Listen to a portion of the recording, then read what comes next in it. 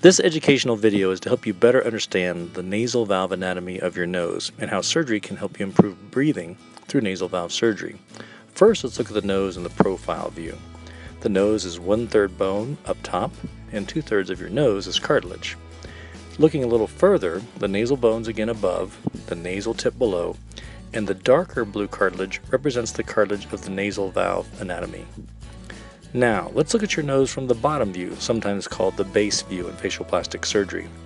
We can view this through one type of medic illustration.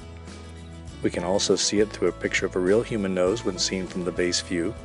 Now, from this base view, imagine if we're looking deeper into the nose, past the entrance of the nostrils, deeper into the nose where the nasal septum can be more visualized, separating our nose into a left and a right nasal passage. In this image, blue represents in the center the cartilage of your nasal septum.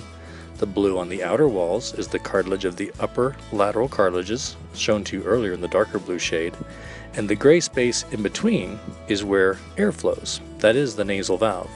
Let's look at the nasal valve more closely.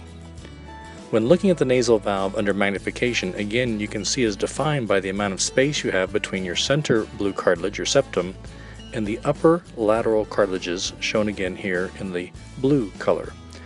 It makes common sense that the more wide this space is, the more air is going to flow easily into your nose and you'll have a sense of better nasal airflow. If this area is more narrow, that is the definition of nasal valve collapse, and nasal valve surgery helps us to improve this area. Now, continuing to look at the nose from the bottom view, you can see now in pink that the line in pink represents a cartilage graft that is taken from your own body, most typically cartilage from your nasal septum, sometimes cartilage from your ear, and we can go over that more during your consultation. The grafts sit in the middle third of the nose that we showed you earlier, again below the nasal bones, but above the nasal tip, and then you can visualize them here in the frontal view.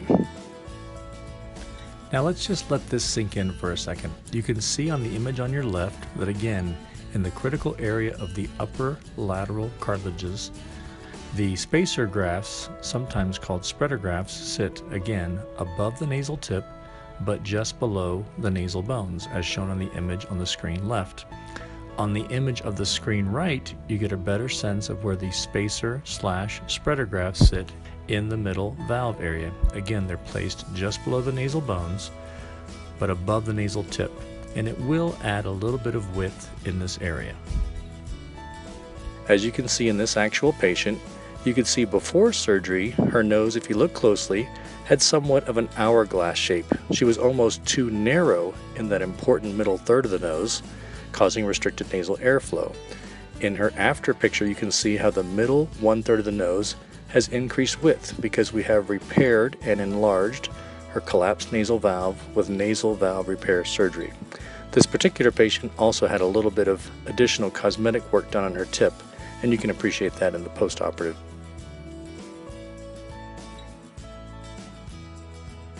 Now that you understand the anatomy of the nasal valve, you can better understand how nasal valve repair can be a key component, or perhaps the only component, to help you achieve better nasal breathing. Thank you.